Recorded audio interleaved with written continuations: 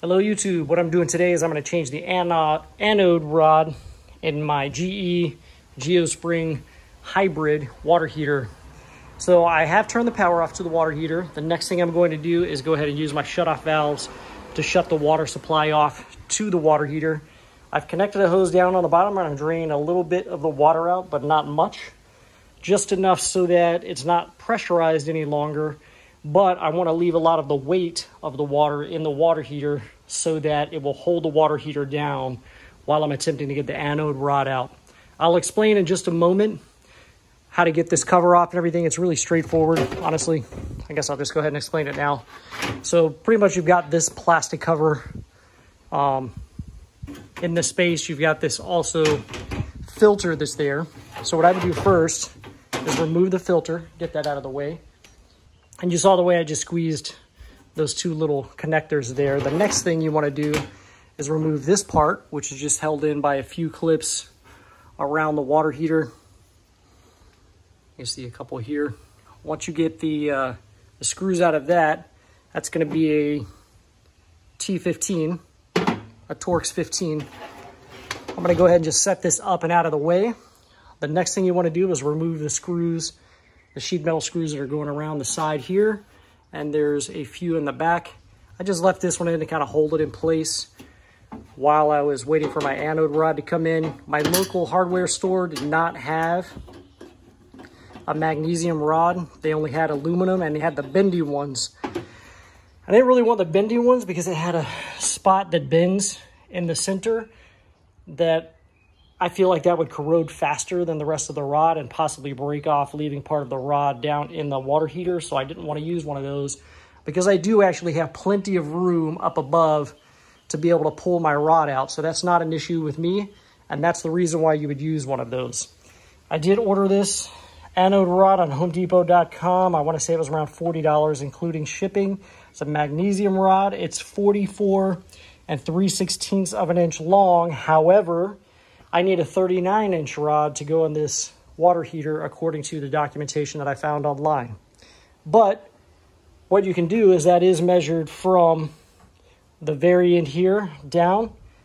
So I measured 39 inches and marked it, and I'm just gonna cut it off with a hacksaw before placing it in. I haven't cut it yet because I wanna make sure that this rod will fit this water heater. This is my first time actually doing this. So let's see how it goes, number one. And number two, I want to make sure that rod's going to fit in this water heater before I start cutting on it. Because if it's the wrong one, I want to be able to return it. So um, the next thing I'm going to do is go ahead and drain this tank after shutting off my water supply.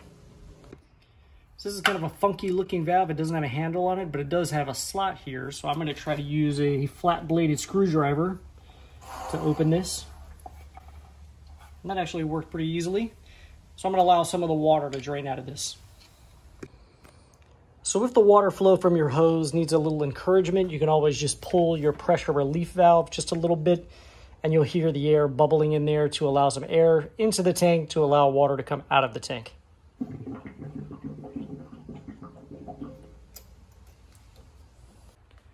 So on this water tank with the covers removed, you can kind of see what's going on in here and the anode rod is actually going to be right down there. Nice and convenient to get to. so you're gonna reach down and pull out the little well. So I've encountered my first problem, obviously. And so the first thing you can notice is that on the top of the anode rod right there, there is a bolt head. I'm assuming, because this uh, water heater has a feature that says anode, Although it does say hold to reset, so that would tell me it's probably time-based. But I don't know why there would be a wire going to it unless there was some sort of sensing mechanism within the water heater to tell when the anode rod goes bad or not. So I'm presented with two options here. Option A is try to find an anode rod that has the threaded bolt head on it so I can put that nut and the sensor back on. Or B, I could not reinstall that and install this anode rod to replace it. But then, uh, then this functionality may or may not work correctly. So I'm going to see if I can find that other anode rod because I want to put it back together the way it's supposed to be, even though the part number for this water heater has been discontinued. So I'm not quite sure where I would obtain that, but I'm going to look for it. Everybody, so I'm going to do my best to get a good camera angle here. I've tried to set the camera sort of out of the way, but also where you can see. So to remove the anode rod that's there, you obviously see what we've got going on here is a nut to hold this wire on there. So the first thing I'm gonna do is pull that wire up. It's just a push terminal. And remove that wire out of the way. Then I'm gonna find out what size nut that top nut is and get that terminal out of the way so we can actually pull the anode rod. Okay, so it seems to be like a 13 millimeter fits on there pretty well.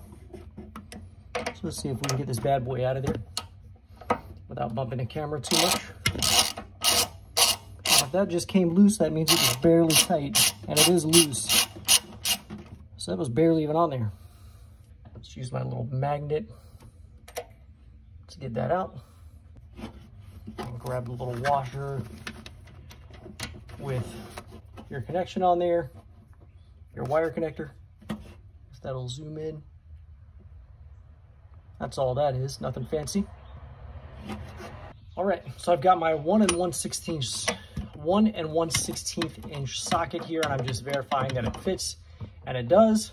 Now I'm gonna go get a nice big breaker bar and attach it to this thing and see if we can get this anode rod out of here. All right, I'm just using a standard size breaker bar like you would use to work on your car. Let's see if I can pop this thing out with that. Oh, and we're turning. Fantastic. I'm gonna attach my ratchet. So I've just got my ratchet on here now and we are turning as you can see.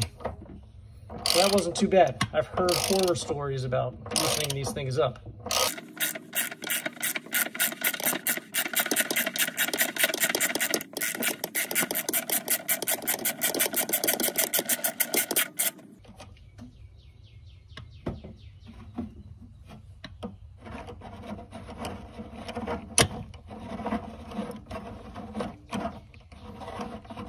Actually turning my hand at this point. And I think actually we are out. So I'm gonna get my socket out of there. Let's see if we can pull this rod out. If anybody knows a good trick for this part, feel free to drop it down in the comments. This is sort of working, I think. And my socket came off. Okay, cool. I'm, you see I'm just kind of cocking it to the side like that. Trying to pull up on it. Maybe a screwdriver to pry up would work too. So I'll try to just come in with a screwdriver on the side and kind of just see if I can pull up on it a little bit. Because I really can't get my finger in there. This may work, but I may have to move the camera out of the way. It's really hard to work right here yeah, I think that's going to work, but I'm to have to move the camera out of the way so I can actually make it happen. So I've got the old anode rod out, and I've set it next to the new one to do a side-by-side -side comparison. The biggest difference is the old anode rod has this little attachment here, and it's my understanding that it has some sort of wire core that sends a signal, like the the water heater sends a signal through the wire, and once the wire becomes exposed, that's when it tells you that the anode rod is bad and needs replacement. This one might be able to go a little longer, a couple more years. I'm not sure. I mean, it doesn't look completely eroded and terrible, but given the fact that it doesn't look great and it is pitted pretty deep in some areas here, I would expect that sensor to go off pretty soon. So the next thing you'll notice about the rod is that this one is longer. The new one is longer than the old one. So I'm gonna have to cut that down. I'm just gonna take a hacksaw. I'm gonna measure it to be the same distance and uh, just cut it down. To measure these anode rods, you measure actually from the top of the nut here all the way down. The uh, anode rod part number that was in there was supposed to be 39 inches. You can see this is actually longer than that, probably 39 and 3 quarters-ish.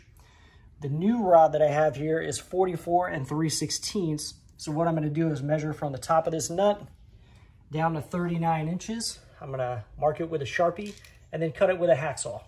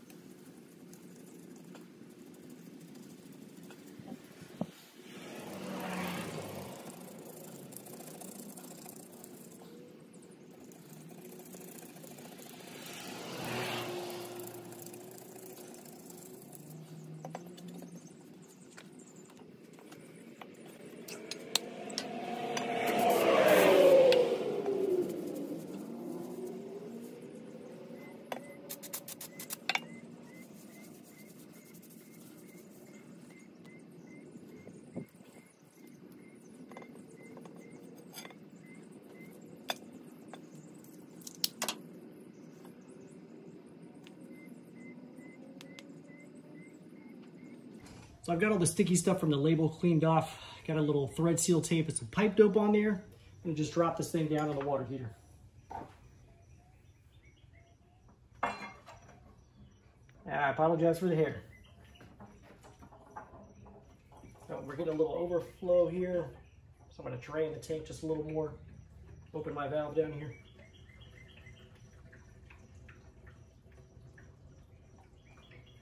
Looks like the electronics are above that line, so I don't think it's a problem, but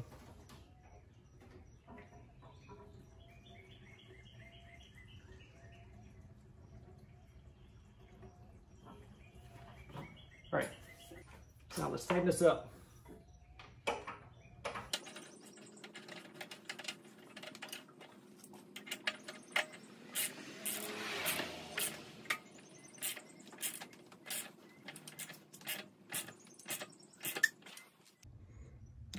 So now you've got your new anode rod in place. What you want to do is make sure that you put a little foam bit back over it and then reassemble your water heater. Now, if you've been following along and paying attention, what you'll notice is that I did not reconnect this little wire here. And the reason why I did not do that is a couple of reasons. For this water heater, there is a specific part number, as we talked about, with that little nut on top where you can actually attach the lead and get an anode reading for how much life is left on your anode rod. And GE has discontinued that part. There's a replacement part. I think it's like $140. It's only available for one uh, online retailer. You can only buy it in one place. So that's a little bit ridiculous. The rod I just bought from Home Depot was $40.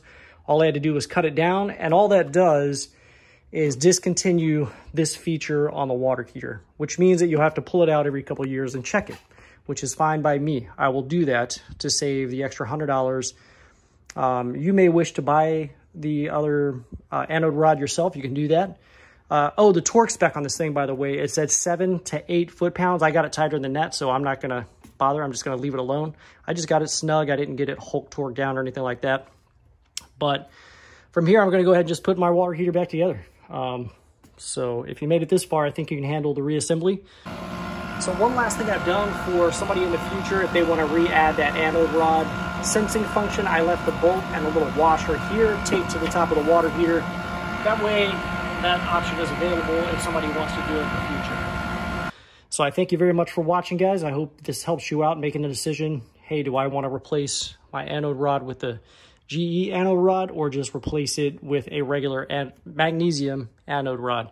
And I'll put the link down in the description again to both of the anode rods both the factory one, I contacted GE and got the part number and all that stuff. I'll put that in the description and I'll put the one that I used as well. So thank you very much for watching, guys. Make sure you hit that like and subscribe button. And thank you very much, YouTube. I appreciate it. Everyone, if you enjoyed today's video, I would invite you to go ahead and hit the subscribe button down below right there on the right-hand corner. And if you felt that the products in today's video is something you might like to own yourself, there's a product link right up there to the right, upper right-hand corner, or down in the description will be a product link for you to purchase the product as well. Thank you very much for watching YouTube.